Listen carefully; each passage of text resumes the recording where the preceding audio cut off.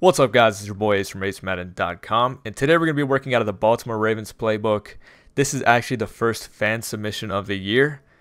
This comes from Michael Brunner. He tweeted me, which any of you guys can do if you want me to break down a play or uh, post a play on YouTube. I'll give you full credit. Just tweet me at Ace Madden Tips. So he tweeted me to do the PA Lions cross. He said Ravens playbook. It's not called PA Lions cross here, so I imagine it's in the Lions playbook as well. Uh, but the play is called PA slot cross, and it does beat everything. So we're just going to run the play, go against random, and I'll show you that it does indeed beat everything. So if you look at the play art, we have six blockers, and all we're going to do is put B on a drag. Snap the ball. The RB route gets really nice depth. Tough catch for Maclin, but he makes it.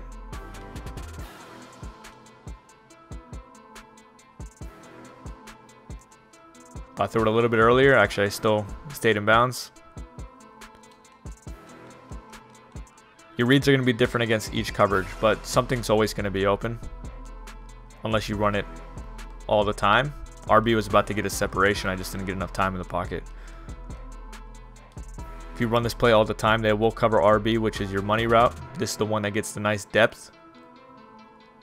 And you can get some kind of big gain, probably 30 yards to 50 yards.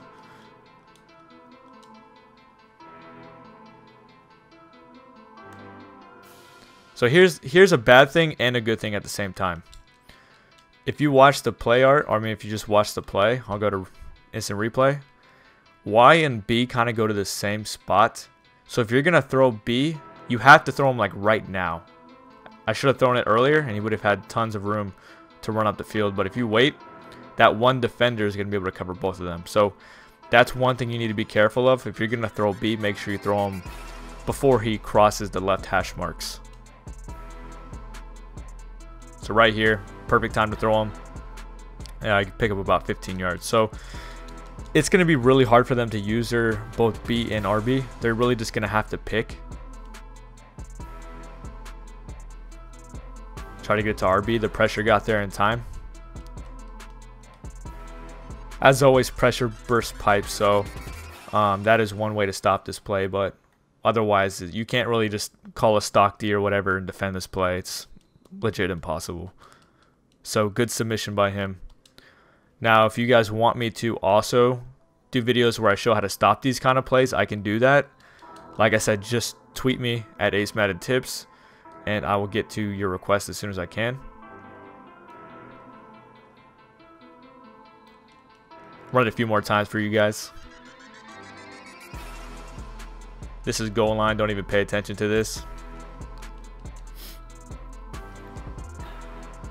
Now, one thing I haven't hit yet is the post route, but that does get open against cover two. I think this might be cover two right now.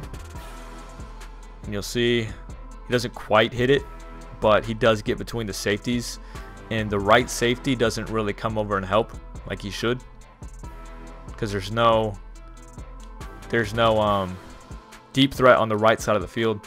So he should actually be helping the, the left safety more.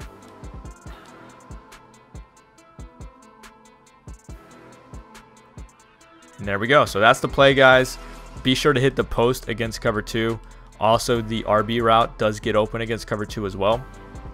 And if you ever see a light box like this, make sure you audible to a run. And I don't know why I flipped it. I meant to use my right stick. If you see a light box like this, make sure you run the ball and get some big gains on the run game. So, hope you guys enjoyed that video. Please drop a like if you did. I'm posting daily Madden content, so subscribe if you're enjoying it. So appreciate it, guys. See you later.